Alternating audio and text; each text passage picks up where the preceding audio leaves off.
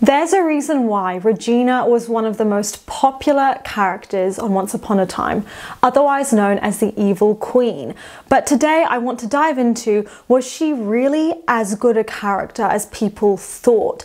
And in retrospect, years after the show aired, was her redemption actually handled in a convincing, effective way? Now, she's one of my favorite characters in the show, so I felt like I just had to make this video and she deserved her own video.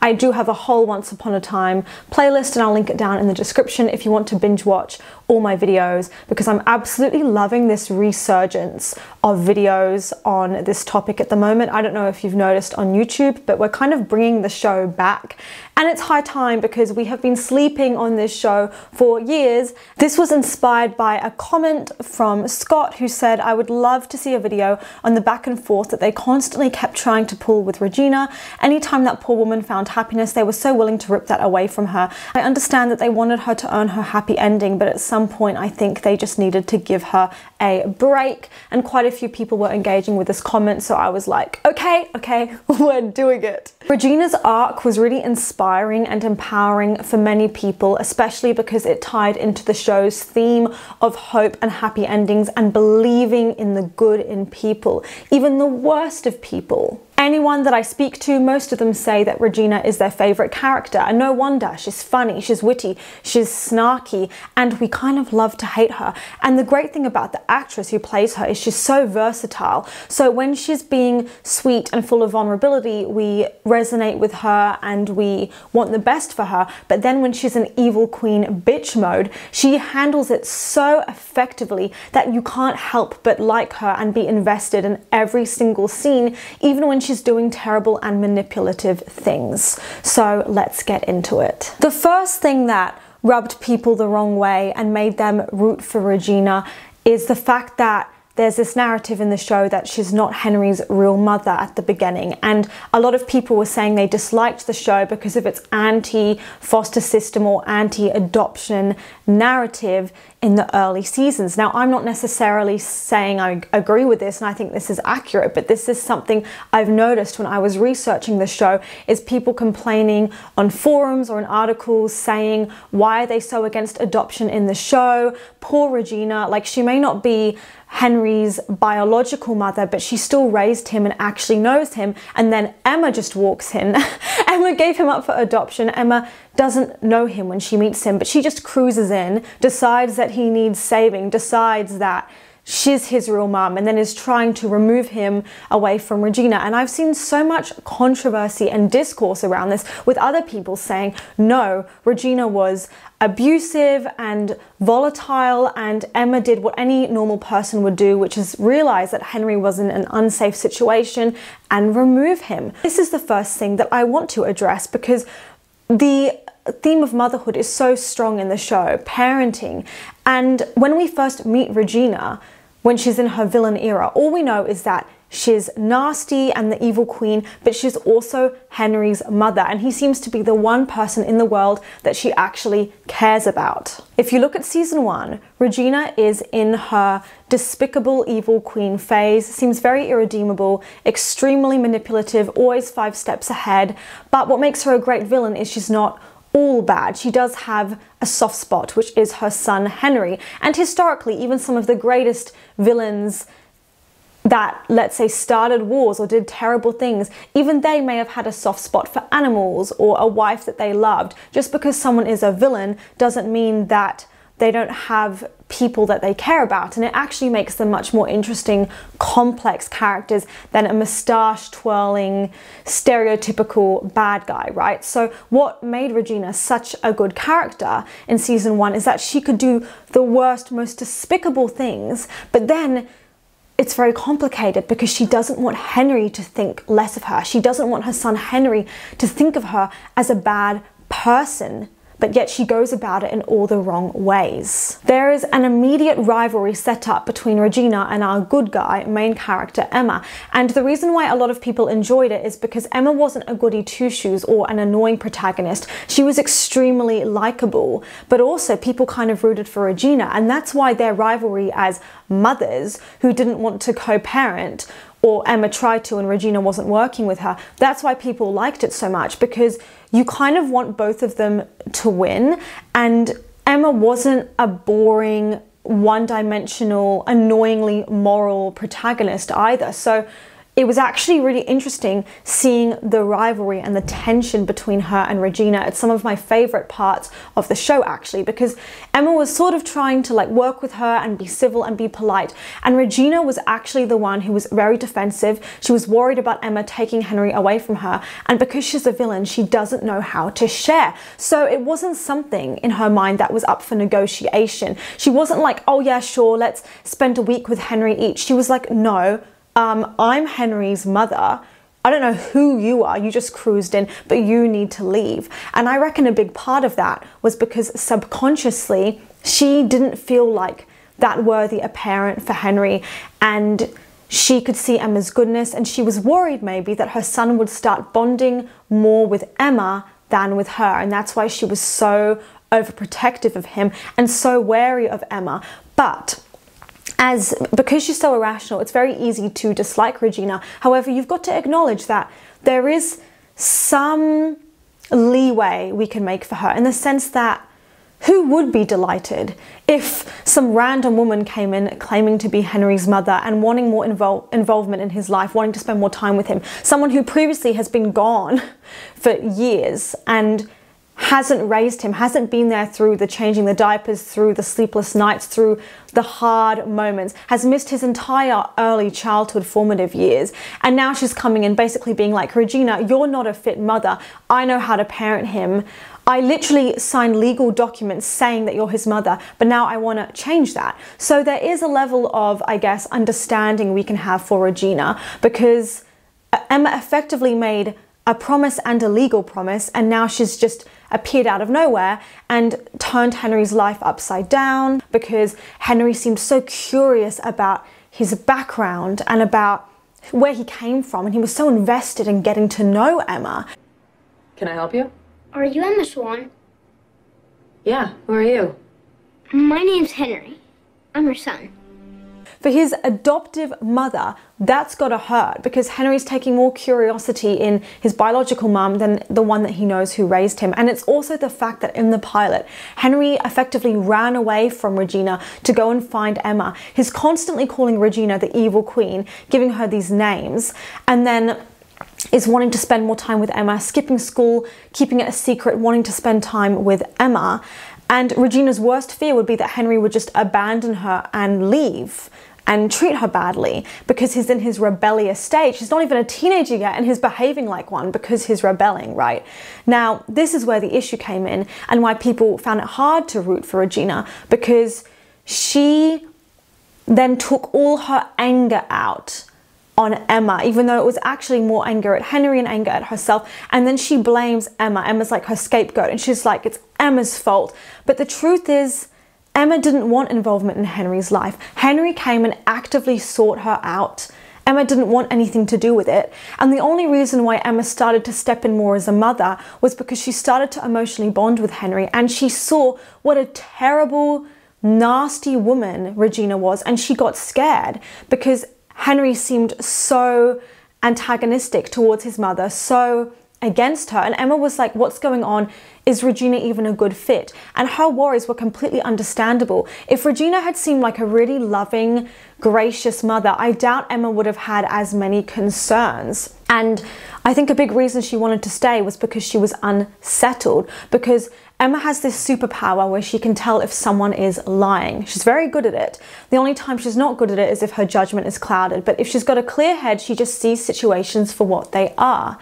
And Regina had said, I love Henry. But she was lying.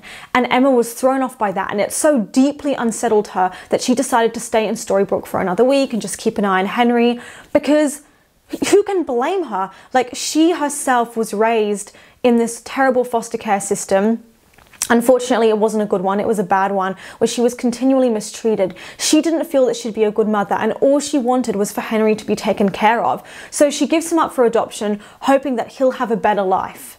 Then she finds out that his adoptive mother is awful and not emotionally present for him. And you can imagine how much it scared Emma because she was like, I wanted him to have a good life, not be emotionally abused. And also, he's an only child, he doesn't have siblings. So Regina is very smothering, and all her attention is on him. Regina doesn't even have a husband, so it's just her and Henry. Her and Henry, just her and Henry all the time. And you, oh my gosh, it must have been so suffocating for Henry. And Emma could see that. So, can you really blame her for having a heart and being worried about her biological child's safety?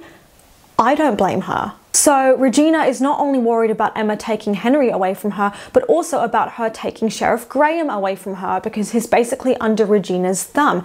And Regina at this point of the show doesn't understand the concept of love. She just thinks that love is control and she doesn't get the distinction. But as a result, because Regina, when I'm giving you this picture of her, seems like the worst possible person you can imagine, which she is at this point in the show, I really don't think they could have made her any worse.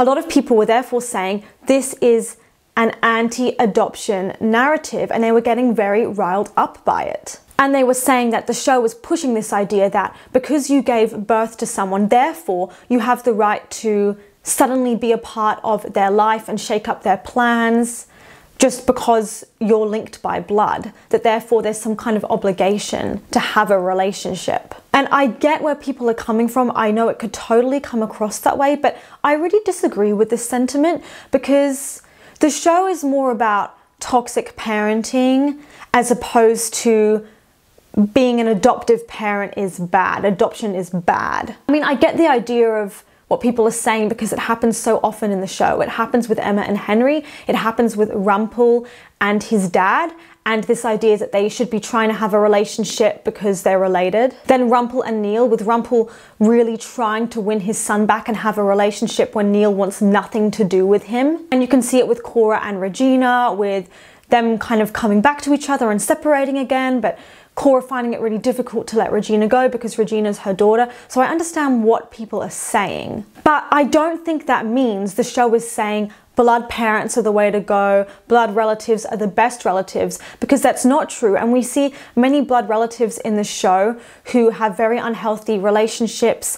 And just because they're related by blood, it doesn't mean that they're happy or that they want to stay in each other's lives at all. There's also nothing in the show to me that indicates adoptive parents are bad because they don't care about their kids. Because Regina did care about Henry. And look, if they'd stayed with her being a terrible mother, a terrible adoptive mother throughout the show, then I would say that's not okay. But thing is, she learned to love Henry properly, and by the end of the show, she was a really excellent mum. And it was a really beautiful arc to see because Henry saw the good in her, believed in her, she became better, and he has a unique relationship with her and with Emma, but he loves both of them and he considers them both his mums. And we do see many blood parents in the show who don't do a good job of it. For example, Ruby's mother, that was never going to work, that entire relationship. The whole reason Emma gave Henry up in the first place is because she thought that he would be better off with an adoptive parent who could properly and financially take care of him.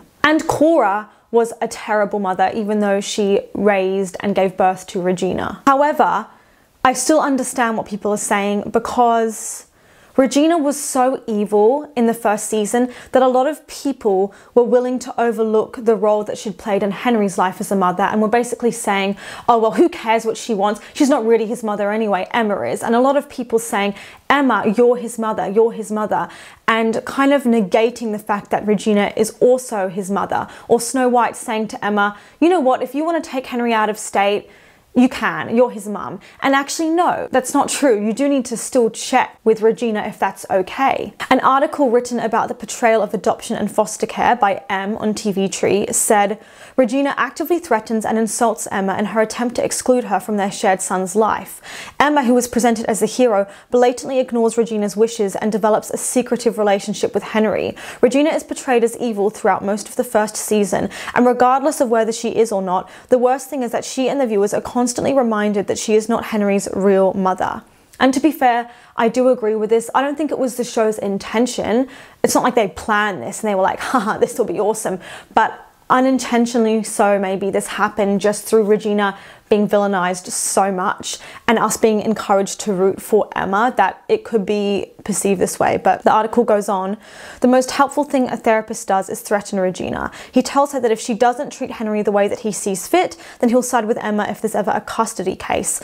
This is completely ridiculous because presumably Emma signed away her custodial rights and Regina is legally his mother. The whole point of adoption paperwork is that it provides stability for the child and security for both the adoptive and birth parents. You can't just swoop in 10 years after an adoption has been finalized and declare that you're taking back custody of the child.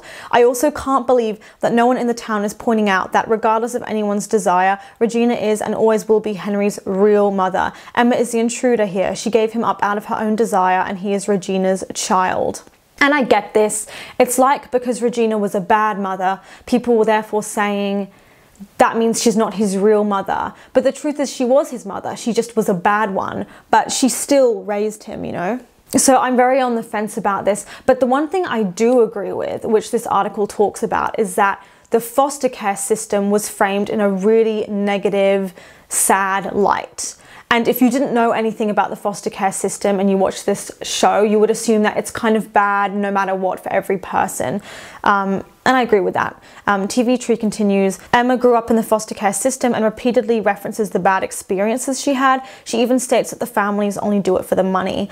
While I recognize that the writers can say this was her character's experience, it still made me feel bad for the thousands of American families who welcome foster children into their homes and honestly do the best they can to look after those children. And when it came to the Hansel and Gretel storyline, because they didn't have parents, Emma will do whatever it takes to keep the children out of foster care. She believes that foisting the children on their uninterested father is a better idea. He's a mechanic who probably doesn't make a great deal of money and was completely unaware that he had nine year old twins because their mother never told him. Hmm, I wonder why. And repeatedly tells Emma he does not want the responsibility. Luckily, Emma forces him to feel guilty about his decision because the children are so clearly better off with him than with a trained foster family, sarcasm implied. The article concludes there are children who are failed by the system. Emma was one of them, and it was an understandable choice by the writers so far as it helps explain her character's motivation. But to repeatedly portray foster care and adoption in a negative light is not a necessary part of the plot and I get what they're saying like they could have made it clear that for some people the foster care system is an amazing experience and showed some examples of that I mean, if you understand the foster care system really well, then you can make your own decision. But if you're really uninformed and you watch this show, then yeah, you probably would think it has a bad rep and you would get a very bad impression of it. So I thought that was interesting. But now we've discussed that, let's get into season one of Regina's character. Regina in season one is presented as the ultimate big bad of the story, a bigger villain than Rumple even, someone who's motivated by rage and jealousy and is a very ugly person. Regina is Mayor and she's really enjoying the power and the idea that everyone is trapped under this curse and they are just under her thumb and they can't do anything, but She's really thrown off course when Emma shakes things up and comes to town and wants to become sheriff. And it's like all the power is now not in Regina's favour. Before, Graham was the sheriff, but he was under Regina's thumb, so technically she had the power. But now Emma's trying to become sheriff. She's stirring the pot, and Regina doesn't like it. Now, this is something that I need to talk about. I don't think Regina's redemption was as good as people say it is because people are calling it flawless. It was really great, but was it believable? No. I still think that they probably should have redeemed her because it worked really well. But if you look at it in terms of like a realistic standpoint, it just doesn't really make much sense. I would say the reason is because Regina is so evil that she was past the point of no return in season one. And I don't mean like, oh, she made some bad decisions, she wanted to rule the town. She, ego and power went to her head a little bit. No, I'm saying she was the most dominating, the most manipulative, heartless, cruel woman ever. And I don't know how there's any going back from that. And I think because people watched the whole show and it was years ago, they forget how scary and awful Regina was. That even her own son was terrified of her. People were terrified of her. And some of the things she did, people forget about, I guess, because it was a long show and a lot happened. But if you look piece by piece at what she did, it's shocking that she became even remotely a nice person or even a hero by the end. Like, not even an anti hero, a hero. Like, look at what she did to Hansel and Gretel. She wanted them to get something from the Sleeping Witch's house, so she sent them there. They were the first to succeed. All the other kids that she'd sent there in the past went to the witch's house and were killed and were eaten alive. So, so she has thrown potentially who knows how many dozens, hundreds of children under the bus and that's on her. That guilt is on her shoulders. And she massacred entire villages for fun, or she threw people in jail to be executed for no reason just because they'd annoyed her. And the worst, because we knew this character, was what she'd done to Graham, which was taking his heart. So she's controlling him. He's like her slave. He can't think for himself or feel for himself. And so she was doing this in the real world and in the fairy tale world, sleeping with him, saying, Take him to my chambers, doing things to him. And then in the real world, it's that same dynamic of whenever she wants him, he's there and he can't move on. Nor is he allowed to have any romantic interest in Emma, apparently, either. It is an awful thing to do to someone to take away their autonomy, their freedom of choice, and it is R A P E, no doubt about it. And that was something that was way too extreme and made her character effectively irredeemable. Now, one of my commenters said the reason Regina is never held accountable for her SA of Graham is because the writers dead ass don't see it that way. I remember an interview where they said that they just wanted something fun and sexy and didn't realize how it would be seen in different lenses. Truly idiotic and that got like 370 thumbs ups that was on my deep dive into once upon a time so maybe that was part of the problem is the writers didn't realize how terrible it would look and just thought it would add some drama or something right and another one of my commenters said, Thank you for talking about Graham. I feel like everyone just sweeps him under the rug. He is the chief reason I was never able to get on the Regina redemption train. And honestly, I totally get you. When I watched season one and I saw how she effectively tortured Graham and then killed him at the end when he didn't abide by her wishes, and how Emma never found out what happened to him and she was never held accountable for that, and never even really had to sit with what she did to him. It took me so many seasons to really get over that because I was so sickened. I was so, it made me nauseous. Like, I was so disgusted that it was very hard for me to try and just go, forget about it. Who cares, you know, and move on because that's not something you can just move on from. And all I could think about in later seasons was Paul Graham, you know, he never got a chance. Why did she do that to Graham? You could just argue she's a sick and twisted predator, which she is. But what were her motivations? I think one of the reasons is that she has always wanted to be loved and to feel special, but she goes about it in all the wrong ways. And what she does is because she pushes and she pushes and she tries to take and take and mold people into what she wants them to be, she's always the chaser. And what does what does anyone have to do when you're chasing too hard? They have to run away. So then people would run away and she'd get more anxious and then try and pull them in more and they'd get more and more like almost turned off and grossed out. And that was the case with Graham. She couldn't just be herself, so she felt like the only way to make him love her was to force him into that situation because she so inherently believes that she's unlovable.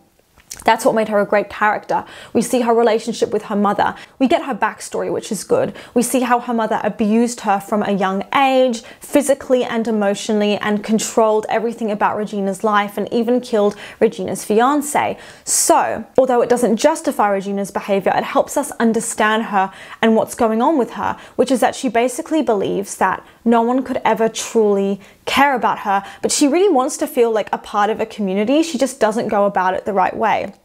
And one of my commenters said this on my deep dive, and it got over 400 thumbs ups. And they said, I feel like one of the reasons season one Curse Storybrooke isn't actually so bad is that deep down, Regina has always just wanted to be part of a flourishing community, and she doesn't know how to get that without wiping everyone's memory and forcing them to be around her and not having to change any of her behavior that makes people run the other way. For a queen whose surface motivations are violent and vengeful, it seems a bit tame. But for the character deeply starved for familial love and a community, she's always tried to force these things with magic since it's the only way she knew how. It makes perfect sense. And this comment reframed it a lot for me because when I filmed my deep dive, I basically said, I don't get why her curse was so lame and not that like intense or impressive? Like, why was it such a pathetic curse? Couldn't she have done something a bit more hardcore? Why not just kill everyone? And I think the reason why she kept everyone alive, including Snow White and Charming, is because she didn't really want to kill them. She wanted a community. And that's what makes her such a great character. And that's what makes her relationship and her redemptions with the Charming so beautiful later on when she's friends with them and when she actually praises them is she says something like I always wanted to be a part of a family. I just didn't know it was possible and I didn't handle it well. I think she says that in like season 4 because she never thought she would get there. And that's why she didn't want to kill them because she didn't really want them to die. She wanted to be accepted. Same with Graham. Like, rather than just flirting with him and pursuing him in a normal way, she didn't know how to do that. She didn't have the skill sets. And her mother always taught her basically that having a heart is bad, having feelings is bad, caring is bad, and you need to instill what you want in people through sheer force and just be a really dominating kind of person. And so that's all Regina She didn't know how to let people come to her or how to just be herself. And that's one of the reasons why her redemption is actually in some ways very nice to see because we see her unlearning these habits and realizing that maybe if she's kind and shows up as herself, she's she'll find her tribe you know her vibe will attract her tribe people will like her and they'll want to hang out with her and this is a recurring theme like in season two she kills greg's father because she wants to have a child and she doesn't know how to keep Greg around. She just wants to get rid of him so she can kidnap this child. And the way she handles it is so awkward. She's all smiling and fake and she's like, Don't you want to be a part of my little family? And she doesn't know how to be warm without coming across as creepy and artificial and the kid is really scared of her and ultimately Regina has to let him go because he doesn't want to be there and he's crying and she realizes that she's forcing it's like this artificial forced intimacy, but he doesn't actually want that kind of relationship with her, so it would all be fake. And the reason why Regina found that so upsetting is because she actually wanted him to want to be there. She wanted to include him in her life. She wanted to have someone to share her life with, but he was scared of her. And she was like, oh, damn it, like, this isn't working. But regardless of her motivations, regardless of how much I love her, Regina's actions in season one were irredeemable. And when it comes to her dating life, her love life, that's when Regina's worst qualities really come to the forefront. She doesn't know how to let someone be themselves. She just wants to control them. Look at how she treated Henry, telling him what to be, what to do. Like it, it's even reflected in her clothing choices, which are so prim and proper and uptight. She doesn't know how to loosen up. She's a total control freak. In season one, Regina and Henry have an emotionally abusive, codependent, and stifling relationship because she's trying to force him to like her when he doesn't like her, trying to force him to love her when he's not feeling it. She should be allowing him to explore a relationship with Emma as his mum, and she doesn't want to. And that, that again is very controlling. And she is gaslighting him. It's disgusting. He knows that there's a curse. He knows she's the evil queen. And she's all like, oh my god, Henry is so delusional. He's, he's a very damaged kid. He's got a very overactive imagination. And Henry, it's time to give up those silly little fantasies, okay? You're not a little boy anymore. Imagine what that does to a child's self-esteem, being told day in, day out that you're crazy. It would start to get to you. You'd start to give up. And even though Henry doesn't show he seems very chipper. He doesn't show many signs of someone who's got low self esteem or who's been abused. You watch when he grows up, maybe the effect, the aftermath of that will become more obvious, even though it's not at first. I reckon if you gave it time, you would see him as an adult like really struggling. He would need to actually go to therapy. He would need help because he spent years of his life knowing that this curse was real and it was, and being lied to and gaslighted by his own mother, who's telling him that what he's seeing and believing is not true, that he's making it up, that he's the only crazy kid in the whole of Storybrooke, and why can't he just be a normal kid? And then making him question his own sanity and his own reality. Lying to him. She's literally lying to him to the point that she's sending him to a shrink. to a therapist. I'm calling it a shrink because like that's how it came across to Henry is like that he's crazy. And rather than, oh, you're getting professional help and there's no stigma, it's almost stigmatized for him because it's like, oh, mum thinks I'm so crazy that, you know, I need to speak to someone about my overactive imagination. And look at how she was with Graham. She felt entitled to his attention. You don't want me, you want Emma, you stand up to me, you express your needs and your qualms. I'm gonna kill you. and she kills him. Oh, you want to spend time with Emma? How dare you? And then I'm to punch Emma in the face because you like her more than you like me. And I'm so angry and I can't handle it because I feel entitled to your attention. I never realized this really because it's always framed as like men being predators and women being innocent victims, but it's the same way for women. If you are continually like chasing a man and telling him he has to be with you or trying to force physical intimacy on him in any way, and he's saying, Look, I don't want a relationship, and you're not respecting his boundaries, you are entitled. He does not owe you a relationship, and there doesn't even need to be a reason that makes sense. But Regina doesn't see it that way. She feels like Graham's her little pet. And basically, somewhere along the line, someone told her that she was owed something and that she was owed a relationship. She's also, as we see in season one, extremely vulnerable. You wouldn't think it, but she is. She's often doing the lovey dovey eyes, like, Graham, do you want to hang out? And when he says, Oh, no, actually, I'm not interested, I don't want to come over, she's like, what? She takes it extremely personally because she actually has a very fragile ego and she can't handle rejection. Confident people understand that rejection is normal and it's okay and it's not a reflection of their value. Even if you get rejected a hundred times, like actors in auditions, it doesn't mean anything. But Regina is very insecure, so she sees it as something is wrong with me, I need to fix it. Rather than going, it's cool, I'll find someone I'm more compatible with, she's like, no, I need to make it work with Graham. And her like killing him and reacting so aggressively when he doesn't want her is actually like a trauma response and it's also very very unhealthy. And i think it could have been very very i don't like the word triggering it's overused but i think it could be very triggering for a lot of people who've been abused or traumatized in childhood in any way. Seeing the way that she lashes out at him and kills him when he basically stands up to her and he says look regina I mean, it was a bit savage. It was kind of iconic. It was a bit savage. He was like, "Look, Regina, I don't, I don't care," and he says that with Emma next to him. So yeah, it was a pretty brutal rejection to her face. But he was like, "Look, I'd rather be alone than be with you. Like, I don't want to."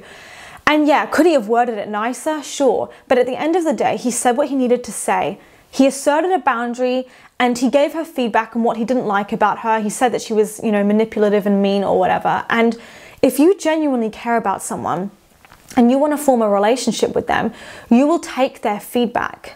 And for anyone that's been hurt or abused or anything in any way, you'll know that when you bring up something to an emotionally unavailable or abusive person, if you bring it up, you give them feedback, they don't take it, they're not compassionate, and they will either hurt you or they'll call you crazy or they'll break you down or they'll end the relationship altogether. They'll be like, fine, go then, right? Because your opinions, your feedback, you standing up for yourself and asserting your wants have been so like crushed down that you'll be scared of bringing up anything to that person, even a tiny thing, out of the fear that they'll end a relationship. And you'll start to have this belief instilled in you that conflict means end of relationship, argument means end of relationship because it's so fragile. You can't say anything, don't say anything wrong, they'll get mad, right? So, therefore, I need to be a people pleaser and I can't say if there's a problem, right? And that's why Regina's behavior was so extreme and so awful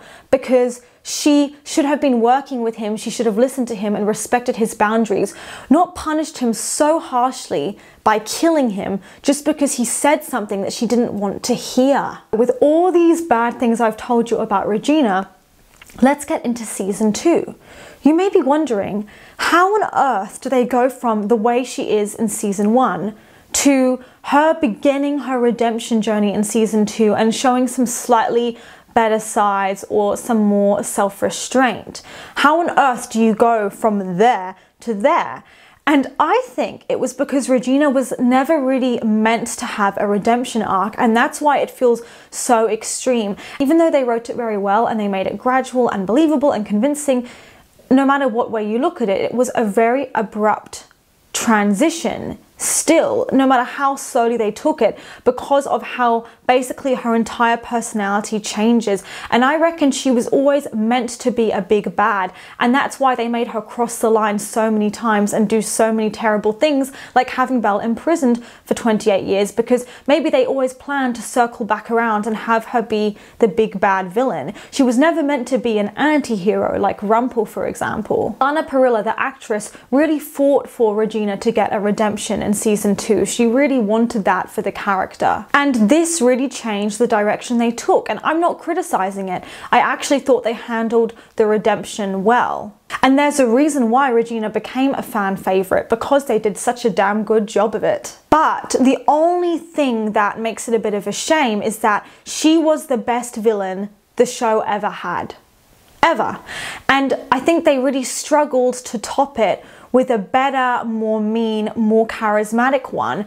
And that's the thing is when you remove her as a villain, you're not really left with another big bad that packs the same punch like Regina did. So they really do their best to introduce some other bad guys too to give Regina a bit of a hard time, like Zelena. And Zelena becomes the main threat in season three, which detracts some of the attention away from Regina. So they can still have a problem or an obstacle, which is Zelena, and then it's not going to be Regina, right? So they're doing their best to bring in other threats, like the Snow Queen, for example, or they make Rumple a bit worse because someone someone has to be the bad guy, right? At the end of the day, in order to have your happy ending, you can't get there without someone causing an obstacle. But because I think they changed their minds and decided to redeem her, they wanted us to kind of forget about some of the worst things she did, like what she did to Graham, and just hope we'd move on. And a lot of us did forget, but some of us, like me, did not. The people who are hardcore fans of Regina, who basically say that she did no wrong and, you know, it's okay and she's a good guy and she was abused in her childhood, so therefore that justifies it they often tend to really conveniently overlook every single bad thing that she did or try and rationalize it or explain it away. Everyone else is to blame but Regina or Regina had a good reason. And Regina doesn't just have to make up for one small thing. It's things that she did over the course of years like gaslighting Henry or hurting Graham. It's not a one-off thing and then people will be really really harsh and critical of Emma or Snow White and Prince Charming for one stupid mistake they did. And that's the difference ultimately between the heroes and the villains. And this the same goes for life too. Everyone makes mistakes and messes up, but a villain will continuously have the pattern of doing the same bad behavior without changing, even though they know it's hurtful. And that's the thing is Regina has to make up for years of bad behavior. For example, there was one time where Emma had been lying to Henry about who his father was, and she'd kind of dismissed and invalidated his feelings a bit and he felt really mad and she had to apologize and she felt really bad for kind of lying to him. But that was one mistake one time, you know, like, or a few small times, but she did what she had to do because she, you know, she was being a bit selfish, whatever, but it's not the worst thing ever. Regina was gaslighting him for years. And she's still a terrible mother in season two, abusing her power and doing whatever she can to make Henry like her and trying to pit him against everyone else.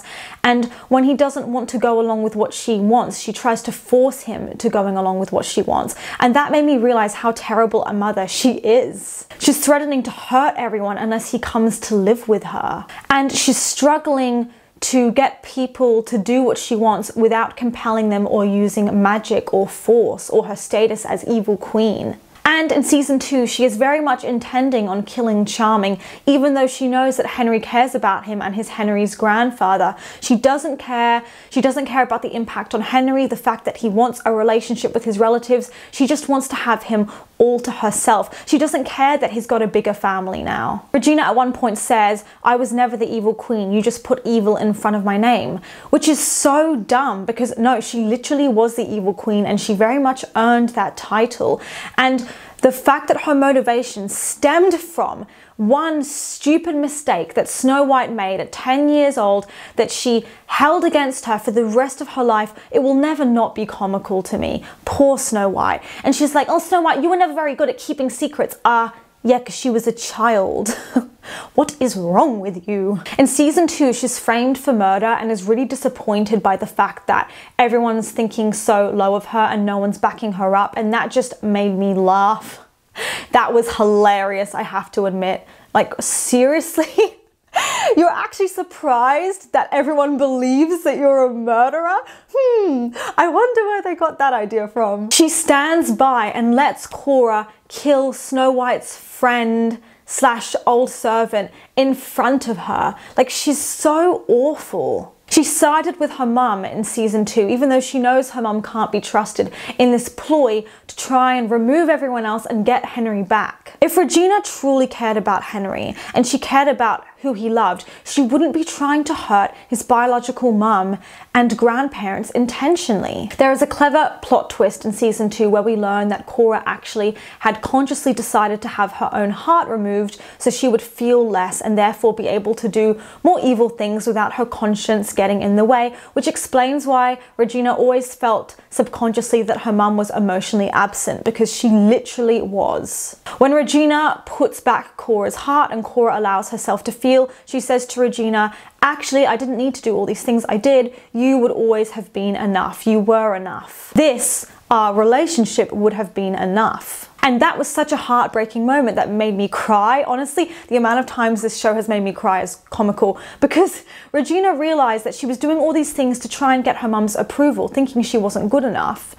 And when her mum, for a moment, gets back in touch with her humanity and her heart, she realizes that Regina actually was a really great daughter and she should have just been grateful for what she had with her daughter rather than being so power hungry and always trying to get more and make her daughter prove that they could have had more. And even though she had this realization too late, I think she really, really meant it. I think she really realized how much she'd messed up. It was a great scene and truly heartbreaking. Also heartbreaking for Regina because she realizes that she was doing all this evil stuff she did in a weird way to prove herself and get her mum's approval. But a lot of people then take the scene and go, well, great, why can't they be friends now? They can have a great relationship. But no, one nice conversation does not erase years of abuse and all that stuff that she put Regina through and the way she treated her. It doesn't make up for that in any sense. It's not nearly enough. But after her mum dies, Regina is furious at Snow White for causing it. And that just annoyed me because, again, it's like she takes a little step forward in her character development and then a step back. And Regina has this problem where she has a lot of misdirected anger. It wasn't Snow White's fault. She did what she had to do. Cora was a threat and she had to be removed. And I don't like how Regina has this selective memory and has now decided after this one nice conversation that her mum was an amazing mum who didn't deserve to die because is she forgetting everything that her mother put her through? No wonder Snow White had to kill her, and in a way, she did what she had to do, even though it was manipulative. Regina was going to use this beanstalk to take Henry away and then detonate the whole of Storybrooke in season two, which is again, do you know how insane that is? All the people he cared about that she would have hurt. It shows that she's still very much a villain, but the one thing that changed was she regretted it and tried to fix her mistake. She has a very selfless action in the season 2 finale and tries to remedy what she did. And she tries to sacrifice herself as well because she realizes that she can't go through with it and that was a good move for her. She's willing to die as long as she will die as herself as Regina and finally have Henry be proud of her as a mom and as a role model rather than ashamed of her, which was her first big bit of progress. Now let's get into season three, which is when I would argue a majority of Regina's very noticeable character development takes place, where she shifts from sort of villain in season one and two to anti hero. And this is maybe my favorite period or phase of Regina's. Here's my thing I like multifaceted characters. In season one, I found her a bit too scary and mean for my liking. And then at the end of the show, I find her boring and a bit too nice and kind of stagnant. My favorite is like the confusing in between, where she's extremely hilarious with the best one liners. Doctor? Doctor. Need I remind you, you got your PhD from a curse. And doing well for Henry, and she's reluctantly pairing with the Charmings, but also she can still just be honestly really mean, and she very much uses magic to get her way, and she approaches things in a more cutthroat way than the charmings that they don't really like. So she's got a lot of good and a lot of bad, but she's not too much of the one thing. And so that's my favorite like phase of hers. I wish she could have stayed in this period like honestly forever because it's so fun to watch. But she's in this very confusing limbo state between villain and between hero, and she's doing some good things to help get to Henry, and she's sort of tolerating the Charmings and working with them, but at the same time, they're getting into all these stupid petty fights, and it's just very entertaining to watch. But one of my favorite scenes is in the opening of season three when Hook and Regina are on the boat and they have a little conversation about villains and how villains don't get happy endings. And Regina's like, well, if we are villains, then maybe this is all pointless because we won't get a happy ending. That's the point.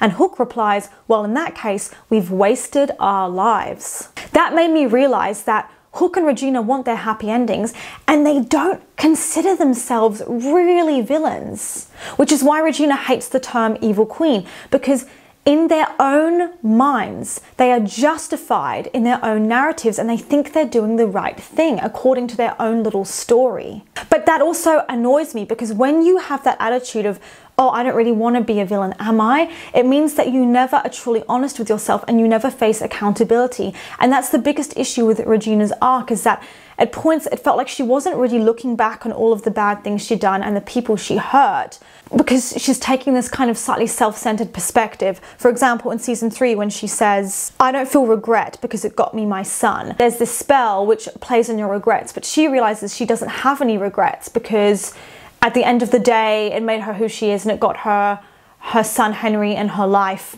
if she wasn't the evil queen, she never would have got Henry and it's worth it. That's a really messed up thing to say. You're basically saying killing all those people and hurting them was worth it. And everyone sees it as this empowering, heroic, shining moment. And I don't see it that way at all. I find it gross. She's also being a much better mother to Henry in season 3B. She's extremely sad about being separated from him and if he loses his memories, not being able to be his mother, but not in a toxic, possessive way. She just genuinely will miss him, and that was a big step for her. There is also a very interesting idea presented. We learned through Tinkerbell that Regina could have had a chance for happiness years ago because she saw Robin Hood and she was told that he would be her true love if she approached him, but she was too scared to approach him in the bar and ran away from him because she was scared of love and she wasn't ready. This is one of the things I loved about Regina's redemption arc and why it was the best in the show out of all the other characters' redemption arcs. And this is why I can't be mad at it ultimately, because we got her backstory, we got her taking two steps forward, two steps back. It wasn't really linear, it was very gradual. They took their time. We saw her struggling with herself and her identity and kind of owning up to what she did, having mixed emotions. And we saw the awkward in between phase where she was doing some good things and some bad things. And also, we see her humanity. So, we see how she's scared of love, scared of getting hurt, like with Robin Hood, and that makes her a much more relatable character. This is when we really see her transition from anti hero to more hero, full stop. We see a lot more scenes of her forming a friendship with Snow White, which is wonderful to see. I wouldn't say they're best friends, but they're a lot closer. They have a lot more respect for each other. And she is almost in awe of Charming and Snow's relationship. And she's even complimenting them, being like, wow, those two are such a power couple. No matter what happens, they'll always find their way back to each other. And she's more in awe of their relationship and impressed by them as opposed to resenting them and trying to ruin it. And she does help them at multiple points, like when Snow White wants to share her heart with Charming, Regina helps her. And by this point, when Regina was going through stuff like difficulties in her relationship with Robin Hood, I felt bad because I know she didn't say the word sorry much or I apologize, but she'd shown through her actions that she was willing to self sacrifice and help people multiple times. And so it did start to feel very, very cruel.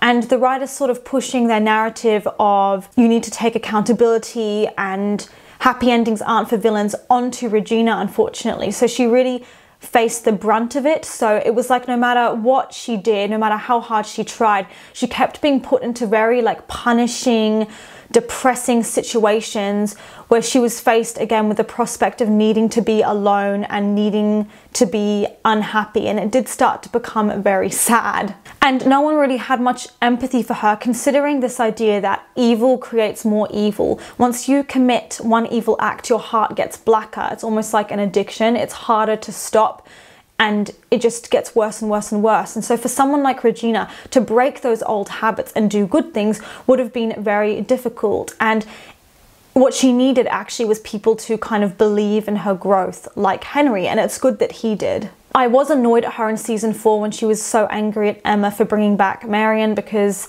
Emma did what she had to do. Like, I, I talked about this in my other video. I was annoyed at Emma for bringing Marian back, not because you know, Emma shouldn't have wanted to help an innocent person, but because she was told not to mess with time travel and had no idea what the consequences of that would be, rescuing someone who's supposed to be dead would have potentially huge consequences. So I felt like it was just stupid and a bit reckless but I understand why she did it. But Regina was more mad at her because she was like, oh, you've ruined my chance of a happy ending. Why did you bring back Marian? Rather than realizing that this was someone that she was going to execute and kill.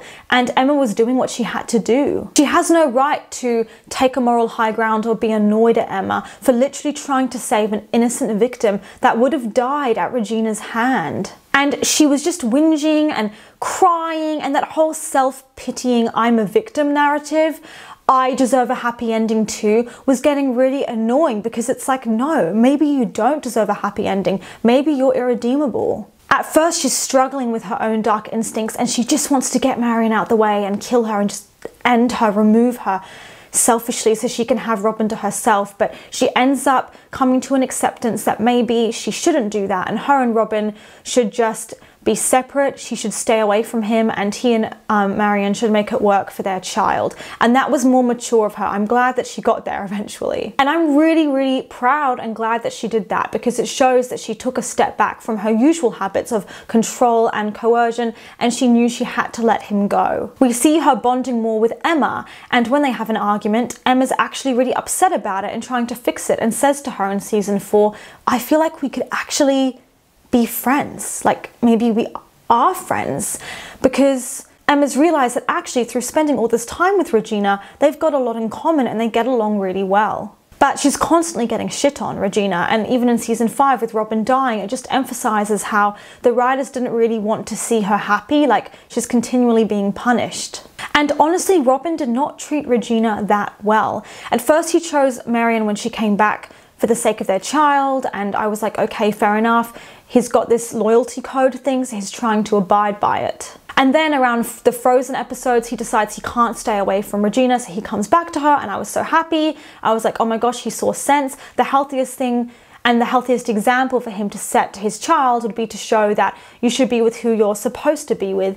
And if Regina makes him happy, he should be with Regina because that teaches his kid a good lesson about maybe sometimes following your heart and closing certain chapters of your life, right? It made sense to me. But then when Marian gets sick, Robin's suddenly like, sorry, I need to go look after her, and he leaves Regina.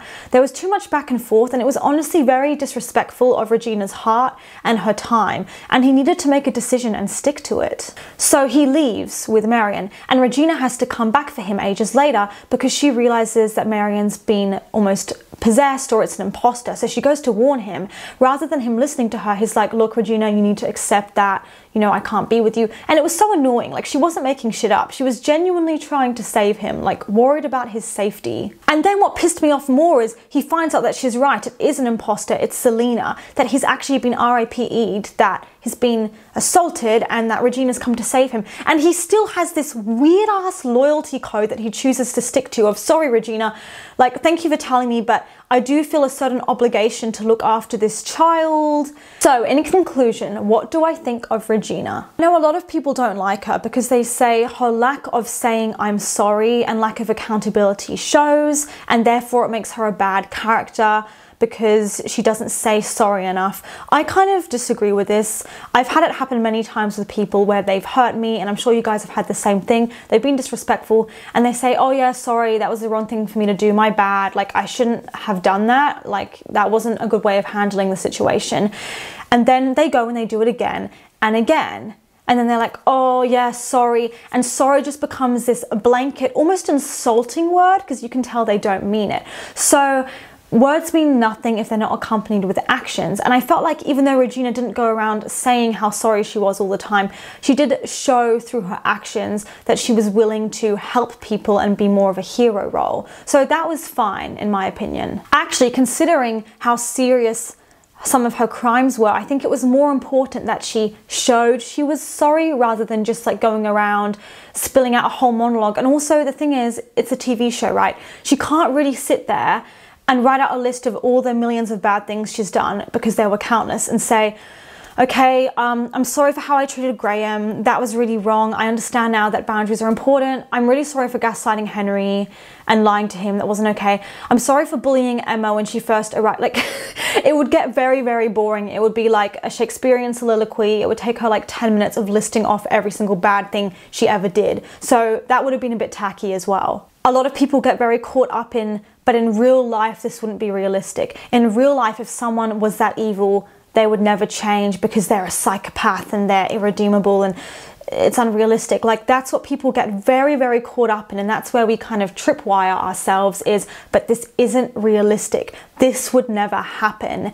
And I think it's important, therefore, to kind of suspend your disbelief a little bit and set it aside because this is a fairy tale world. It's not a true crime thriller, it's just a fairy tale world. The whole world is based in metaphors and you know, symbolism, moral messages, and it's not so much about would this actually happen. And if you keep applying the real world rules or legal jargon, you're going to get very, very tripped up. And if you just look at the themes of the show, right, one of the main themes is about hope and happy endings. So it wouldn't make sense if there was only hope for certain characters. This is a story about belief too, believing in people. It would be a bit weird if we only believed in the heroes. It would also be a bit weird if the only people who had a prospect for a hopeful future were the good guys. I think it's much more interesting if we apply this idea of hope and happy endings to everyone and give happy endings to everyone, even people like Regina. You leave the show in a very positive, uplifted mood, feeling like basically anything is possible. And I think that's really lovely. Let's have a little discussion about it down in the comments. See you guys for the next one.